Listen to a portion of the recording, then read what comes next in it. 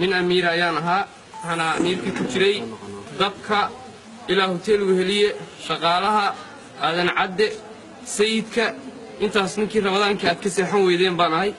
Bahda saxaafadda waxaan ka codsanayaa inaad cafisaan marka koowaad. Marka labaad inaad iga gaarsiisaan ummadda soomaaliyeed waxaan ka codsanayaa inay cafiyaan. Ninkii ramadaankii halkan waxaan watay aniga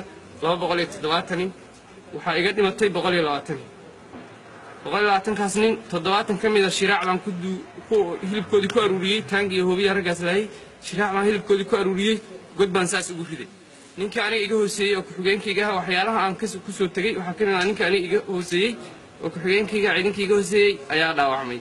Markuu dhaawacmay dalka waxba looma qaban karaa la yidhi dalka waxba loogama qaban karo. Waxaa amar laygu siiyey inaan dhammaystiro ninkaas.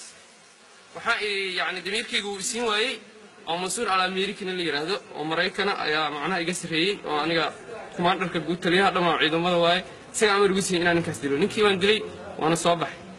Annaga waxaan nahay dadkii ummadda soomaaliyeed qali jiray qoorta ka goyn jiray layn jiray laakiin waana lagu amri jiray oo waana lagu qasbiyey ee waxa annagu aan awoodna muu jirin. In ka faa'iidaysanaynaa oon ka faa'iidaysanay boqolka maalmooda ay qabsatay xukuumadda cusub.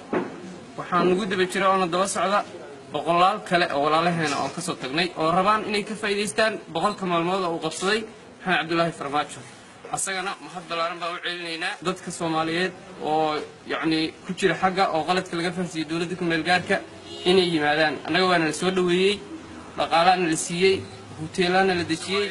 Dhibka jira waxaan u adkaysan waayey maalin walba dadka iska leeanaya oo soomaaliyeed. Waxaan u adkaysan waayey aniga oo nin oo maanta la raba dalkayga iyo dadkayga inaan ka qabto. Maalin walba markhaati inaan ka aado wiil soomaaliyeed oo afar iyo toban jir inaan markhaati ka aado sida foolxun oo u dhimanayo loola marka hore fii qalada ka qabnay maadaama daaciga a ahaa oo dadka wacyigeli jiray.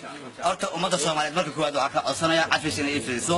Marka labaadna bahda saxaafadda iyadana waxaa leeyahay maadaama dhibaatooyin badan ilmo yara wax u sheegi jiray oo soddon lixdan afartan inta wax u sheegaa dabka lagu soo shubi jiray ilmaha waxaa u soo sheega. Toban ay ugu soo noqon jirta inta kalena way baabi'i jireen. Ummadda soomaaliyeed waxaa leeyahay ilmahaas waxay dhalay. Haddii ay dhegaysanayaan cafis horta inay ii fidiyaan marka koowaad. Ilahay cafis weydiisanaa marka koowaad marka labaadna iyo cafis weydiisan